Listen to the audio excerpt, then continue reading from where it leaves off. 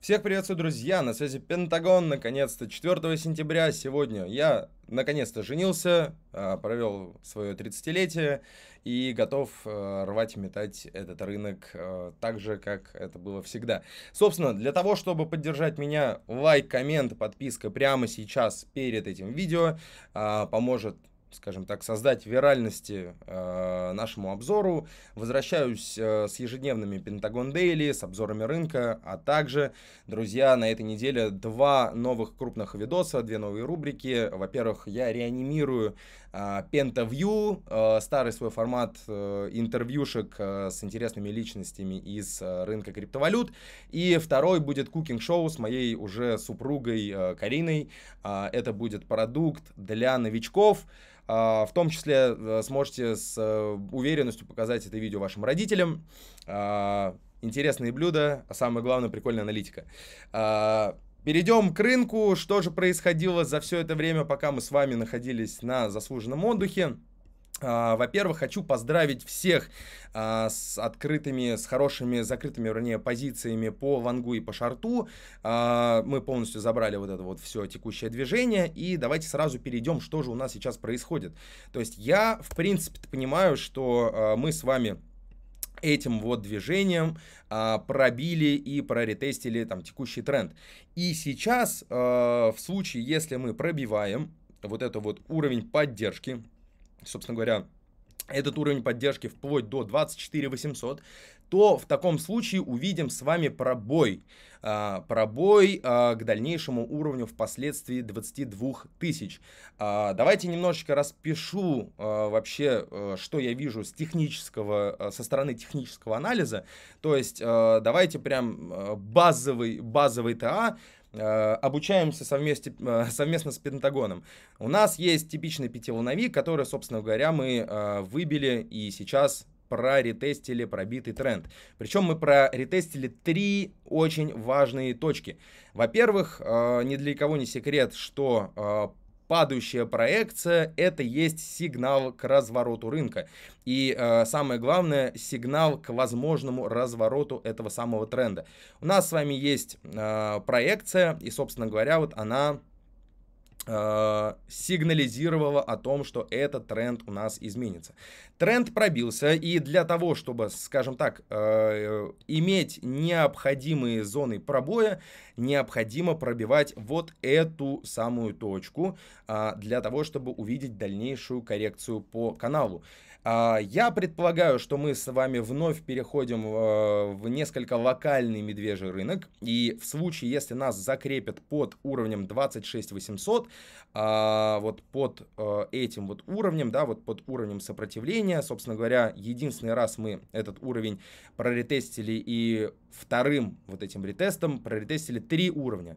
Во-первых, первый основной тренд, да, то есть пробой и ретест тренда а, формирует паттерн и голова, и плечи, и, э, ну вот если мы рассматриваем конкретно данный, данный промежуток участка, да, то это очень похоже на как раз-таки вот э, голову и плечи с пробоем и ретестом с дальнейшим трендом вниз. То есть в случае, если мы не сможем закрепиться на уровне э, плеча, да, то есть на уровне шеи, э, то впоследствии жду как раз-таки следующий пробой. Следующий пробой, на мой взгляд, будет к уровню 22 тысяч, э, и вот как раз-таки здесь э, для меня будет э, определяющая зона.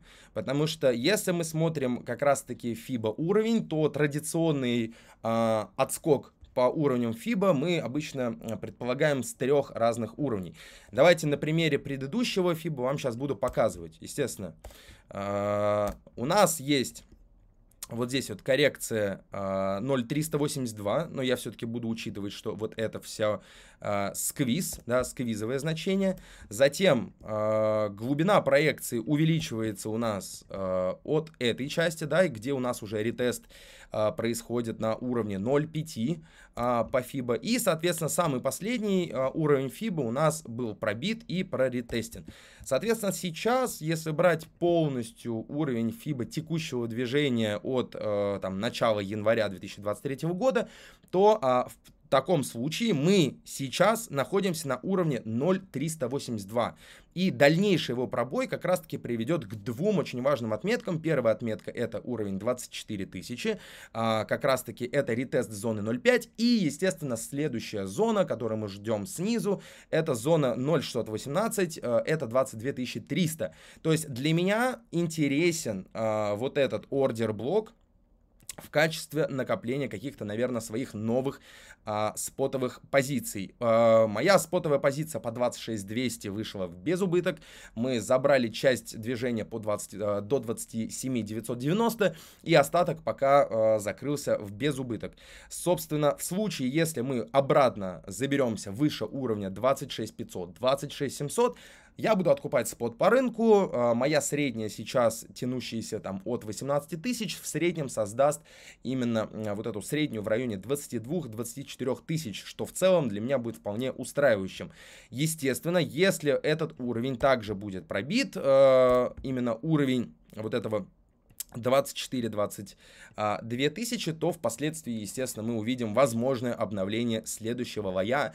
А, это уровень 18 тысяч, и впоследствии, конечно же, не хотелось бы к этому возвращаться.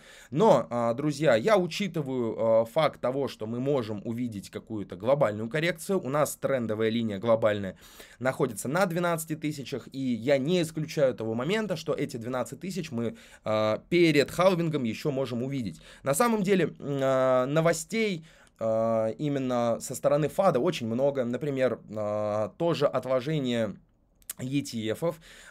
Все-таки проблемы с Binance, да, то есть сегодня, вот буквально минут 15 назад вышла инфа, что их продукт-менеджер, главный продукт-менеджер подал в отставку, ушел, ну, то бишь, это уже топ-менеджмент биржи, и он либо увольняется, либо уходит сам, для меня это очень сильный сигнал на рынок, именно сигнал по BNB, и как раз-таки вот в отношении BNB мы к нему еще вернемся.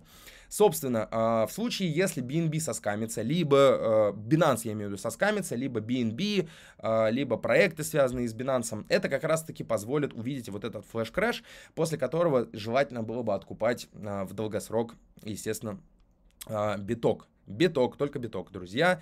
А, я э, не собираюсь откупать большое количество альтов. Возможно, это будет какие-то топ-5. Но пока, пока, естественно, мы работаем только с битком. И вот я подключился немножечко на BNB, а, пока у них есть проблемы. А, я сейчас вам покажу свои текущие позиции. У меня небольшой шорт открыт по 26.20. 4 битка вместо 6 и открыто 300 BNB по 215. Соответственно, эти две позиции для меня сейчас пока основные, и я э, подумаю о том, вернее, я их буду закрывать в случае только если мы выйдем выше 26 500. То есть пока мы находимся ниже 26 тысяч, для меня это хороший, а, хороший шорт. Я в целом вижу, что мы пробили вот этот уровень сопротивления, горизонтального сопротивления, да, то есть и а, самое главное, вот здесь вот небольшое трендовое, тоже мы его тоже пробили. Поэтому допускаю, допускаю тот факт, что мы дальше можем пойти вниз. То есть сейчас мой план будет, наверное, строиться от такого сценария. В случае, если нас закрепляют э, ниже 26600, ну то есть в рамках какой-то в рамках какого-то сквиза я допускаю вот такого вот выноса быстрого, да, на локальное еще правое плечо, либо на возможное проторговку и касание там через флет э, к концу месяца, да, то есть там больше к середине месяца, наверное, там 12-15 числа. А, либо нас уже там в текущую отправят ниже 25, и в случае пробоя вот именно 24 900, 25 тысяч, увидим как раз-таки вот этот поход. Если мы говорим про типичный пятиволновик Элиота, э, который, э, скажем так, мы видели сейчас на всем восходящем движении, я сюда, в принципе, могу подставить коррекцию АБЦ, и вот как раз-таки коррекция А, Б и С э, должна в моем представлении пробить предыдущую границу поддержки, эта граница поддержки находится 22-24 тысячи, и протестировать следующий вот этот вот уровень, а, для меня этот уровень как раз-таки будет касанием уровня 0,618 по FIBA. В принципе, здесь интересно было бы уже подкупить какие-то позиции. То есть э, спот хотелось бы откупить здесь. То есть жду какое-то вот такое вот движение, возможно, с быстрым отскоком. Было бы очень круто, если бы все это э, сопроводилось большим дивером на дневке, на трех днях, да и в принципе э, хотелось бы увидеть какой-то разворотный сетап. Поэтому пока э, мой шорт, он находится на самом деле не в самом удобном месте. А, шорт от 28 тысяч я полностью закрыл по 25 600. И в принципе-то э, сейчас вот как раз-таки не стал брать этот лонг э, от 25 600. А, ну, была попытка лонга, э, сократил позу потом в безубыток, вернее, в небольшой убыток, там 500 баксов. И, собственно говоря, нахожусь пока вот от 26 тысяч в шарте. А, также все-таки я бы хотел вам показать один очень важный фрактал. А, вот он. Два фрактала, которые я вам показывал, когда мы, а, собственно говоря, э, пришли к уровню 28 тысяч. И мы сейчас по обоим этим фракталам должны сквизануть как раз-таки к уровню 23. Но мне нравится вот другой фрактал, э, если я его сейчас найду. Вот он. Вот, собственно говоря, этот фрактал. А, и для меня этот фрактал является достаточно четким, то есть его совпадение больше 80%, для меня это, в принципе, достаточно. То есть есть предыдущее восходящее движение, есть падение, есть ретест, вот он этот ретест а, пробитого тренда, здесь мы формировали двойную вершину, здесь этой двойной вершины нету, и как бы, э, вот если даже вот так вот сделать, вот так вот, то а, впоследствии мы как раз-таки должны упасть в эту зону 22-24, от которой, а, собственно говоря, я бы попробовал лангануть. То есть мой интерес все-таки вот эта зона 22-24 впоследствии с каким-то отскоком. А, что будет в конце 23 а, года, мне пока неизвестно, но есть а, такое такое предположение, что после проторговки в этой зоне э, мы увидим еще одно падение в сторону 18 тысяч, и как раз-таки январь-февраль 2014 года э, будет новым э, булраном, и как раз тренд э, близок, там 12-тысячный, и увидим некоторую такую вот э, проторговку. То есть давайте подытожим. Для меня сейчас важно, для меня сейчас важно увидеть действительно поход дальше вниз. Если посмотреть на локальные все-таки паттерны, э, на 15-минутном таймфрейме у нас есть дивергенция, у нас есть дивергенция на часовом таймфрейме, и она достаточно сильная, да, то есть вот здесь вот есть очевид э, по линейному графику, его тоже видно, и эта вся структура для меня э, напоминает некий такой медвежий флаг, собственно говоря, медвежьим флагом является отработка движения от этого, от, грубо говоря, от пролива, и, соответственно, вот этот вот пролив для меня и будет э, основополагающим э, как раз-таки поход 24 тысячи, 5% падение по рынку. И самое главное, что это же, э, это же падение по рынку в целом усваивается в мой ретест от поддержки тренда на уровне 25 700 и как раз-таки вот сюда отметка 24 тысячи была бы очень интересна для вот этого похода и для формирования того самого крупного, крупной дивергенции. Естественно, неделька, месяц а, выглядят достаточно плохо. Если мы подкроем недельку, то вы увидите огромный вот этот вот додж. И самое главное в этом додже, что тело закрылось ниже предыдущего, тем самым вам сигнализирует о том, что тренд все-таки нисходящий, и э, единственное, что мы можем получить в рамках этой недели, э, бычьего, да, это полное поглощение предыдущей свечи, во что пока я сильно сомневаюсь. Сентябрь тоже закрылся не очень хорошо, у нас есть наподобие что-то здесь PPR, и как раз-таки единственная э, возможность возврата обратно в тренд, это возврат выше уровня 27 28 тысяч. Собственно, эфир также выглядит не очень хорошо, а, и если смотреть э, дневной таймфрейм, в принципе, тот же самый сквиз, а, причем не только вот а, основного тренда, да, вот здесь вот, но и также горизонтального уровня. Что касательно битка, я вам все-таки хочу еще раз показать, хочу вам показать три уровня,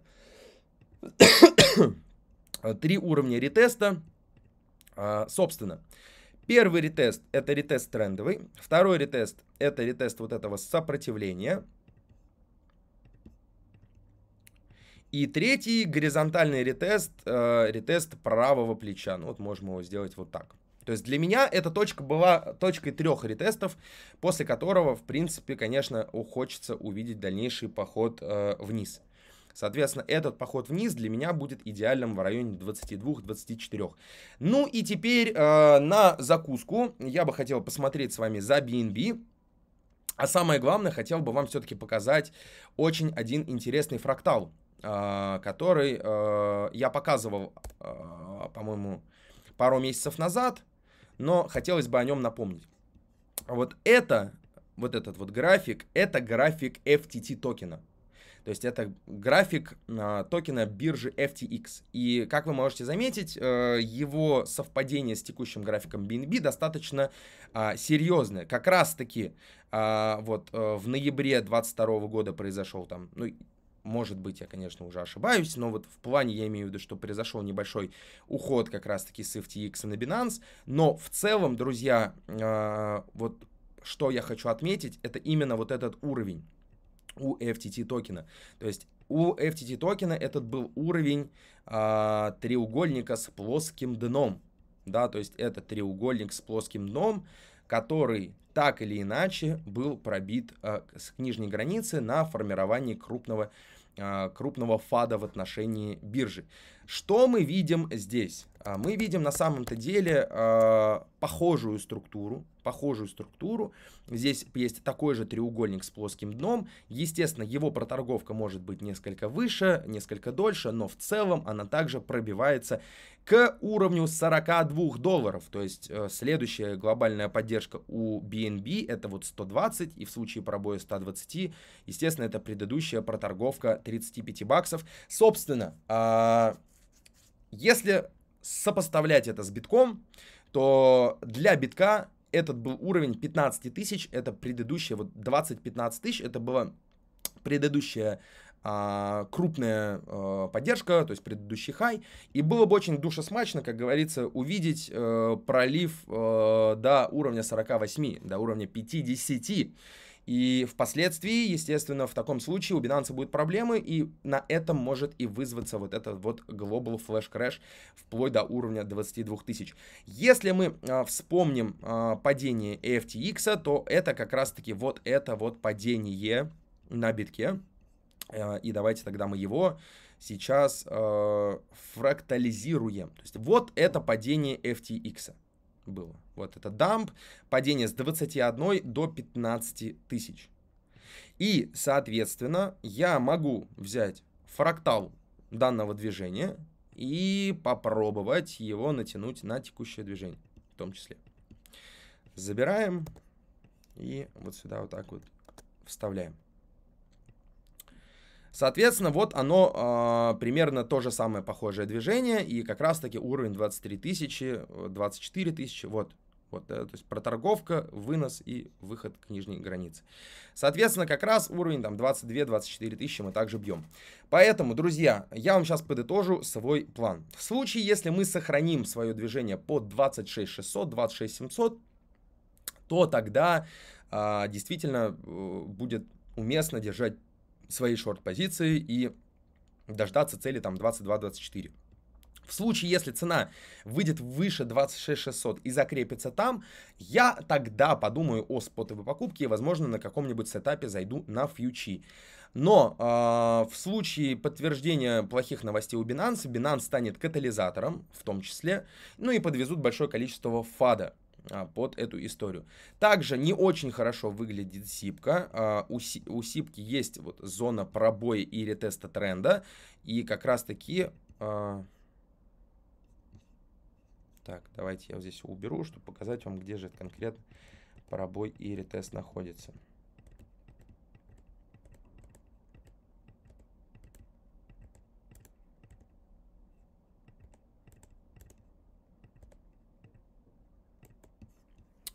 Так, у нас два тренда по сипке. Первый тренд, это, естественно, здесь. А второй тренд вот мы пробили и ретестим. Соответственно, на сипке есть паттерн голова и плечи. Голова и плечи уходят к ближайшей уровню поддержки. Этот уровень поддержки находится на отметке как раз-таки 400. А, движение данное, оно а, 5-6%. биток 10-15, всегда всеизмеримо. Поэтому пока для меня все в шарте. Естественно, в случае ухода обратно мы с вами будем искать новый сетап уже завтра.